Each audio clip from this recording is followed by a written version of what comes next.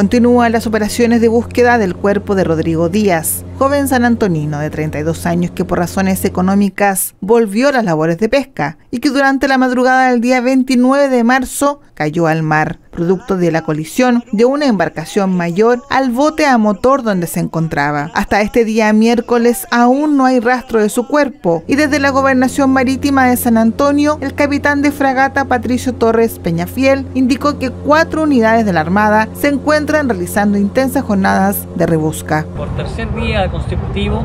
los medios desplegados en el área del accidente ocurrido entre un pesquero de alta mar y una embarcación menor de pesca no han arrojado resultados positivos. Hasta el momento se mantiene el esfuerzo de rebusca, el que está siendo realizado por cuatro unidades de la Armada que se encuentran desplegados en el lugar,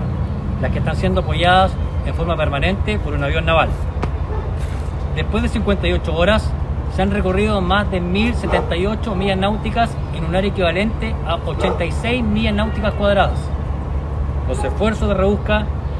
perdurarán mientras se mantenga la certeza razonable de encontrar a la persona desaparecida en el mar. Desde este martes, el patrón de la embarcación mayor involucrada en el accidente que provocó la desaparición de Rodrigo Díaz se encuentra con arraigo nacional e imputado por la causa de cuasi delito de homicidio por decisión del juzgado de garantía San Antonio, dejando un plazo de investigación de 90 días.